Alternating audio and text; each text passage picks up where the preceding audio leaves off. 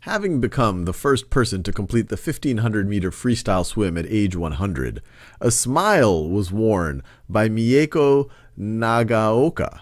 So the way it's written right now, it makes it seem like a smile a Smile was the first person to complete the 1500 meter freestyle swim at age 100, which which doesn't make much sense. And let's just think about what's going on here. When you read this, when someone is reading, when someone's reading, I'll do this in a different color.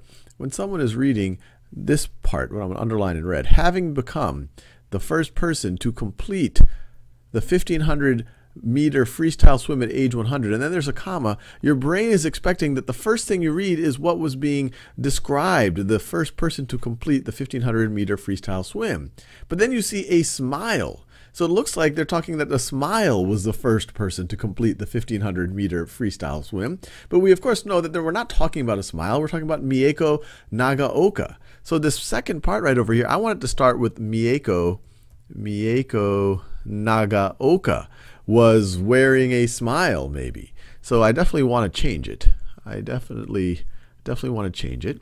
So let's see. Having become the first person to do all this stuff, happiness was evident. Well, no, now it seems like happiness was the first person to complete the 1500 meter freestyle swim. So I don't like that choice. Having become the first person to do all this stuff, Mieko Nagaoka wore a smile. Yep, that that that feels good because the first thing you see, that was what was intended to be the first person to complete the 1500 meter freestyle swim at age 100. So I'm liking this one. And then this last choice, it just can, you know, still a, it still has a smile. Of it, it, it, the way it's written, it makes it seem like a smile was the first person to complete the 1500 meter freestyle swim. So I don't like this one either. So I feel very good about this choice.